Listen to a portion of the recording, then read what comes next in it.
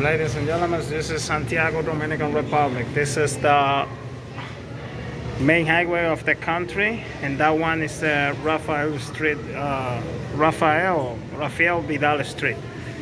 Over there you go to Puerto Plata, and over there you go to Santo Domingo, the capital of the country. Thank you everybody for watching.